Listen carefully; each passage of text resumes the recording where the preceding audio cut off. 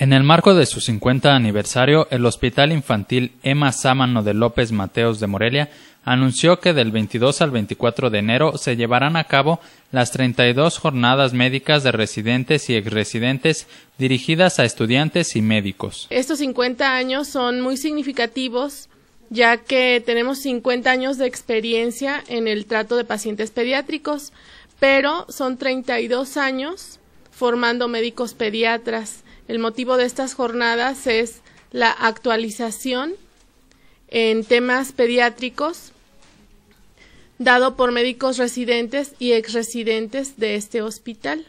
En las jornadas a realizarse en el Teatro Estela Inda de LIMS en Morelia se abordarán diversos temas enfocados a la pediatría. Dentro de nuestro programa académico tenemos eh,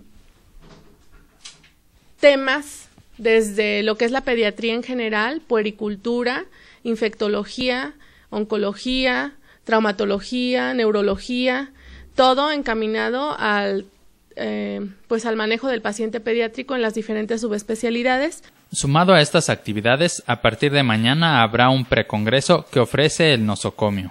También va a haber actividades como son talleres, tanto para personal de enfermería y personal médico, y se llevará eh, a cabo el curso de actualización de reanimación pediátrica avanzada. En estas 32 jornadas médicas se esperan entre 500 y 600 asistentes del ámbito médico. Los interesados se pueden inscribir en el Departamento de Enseñanza del Hospital Infantil. Para Cuasar TV, José Guadalupe Rodríguez.